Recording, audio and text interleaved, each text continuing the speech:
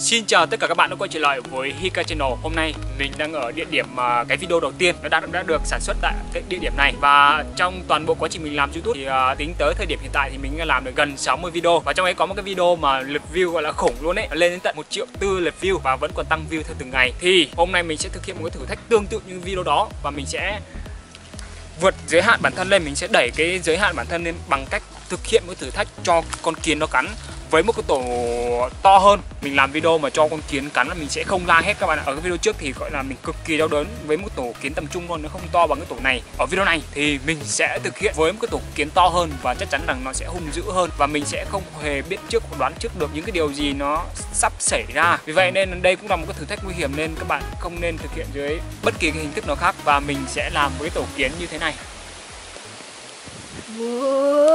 Wow. Hmm?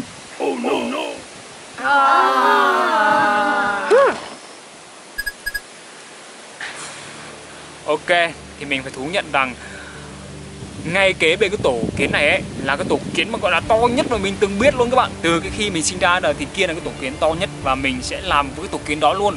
Chiều theo các bạn coi như là để vượt giới hạn cũng như là đạt một kỷ lục mới làm một, với một tổ kiến một số lượng quân rất là lớn mình đoán ước chừng tầm khoảng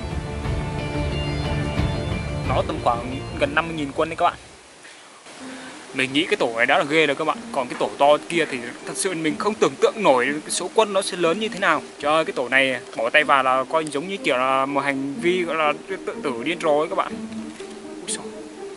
Tổ này rất là lớn đấy các bạn. To phải bằng gần như là một phần rưỡi cái ổ hồi trước mình làm mà được một triệu view. Hơn một triệu view.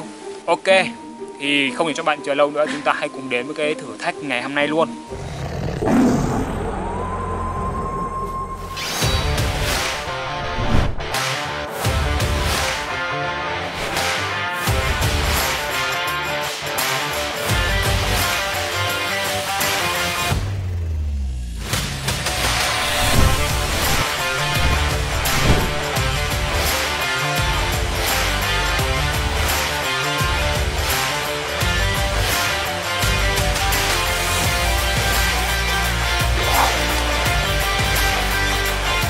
Đang rất là điên các bạn ạ. Thử thách sẽ bắt đầu trong vòng. Mình sẽ hét thật là lớn vì tí nữa mình sẽ không còn cơ hội để mình giải tỏa cái cơn đau nữa. Ba hai mà. Chỉ một phút thôi. Mình tin các bạn sẽ share video này mình. Chỉ một phút thôi mình sẽ vượt qua cái cái thử thách này. Mình sẽ không phải hét hết các bạn hãy nhìn cái cơ cơ mặt của mình nhăn nha. À, mình sẽ không bộc lộ cảm xúc bằng cái giọng nói của mình nữa.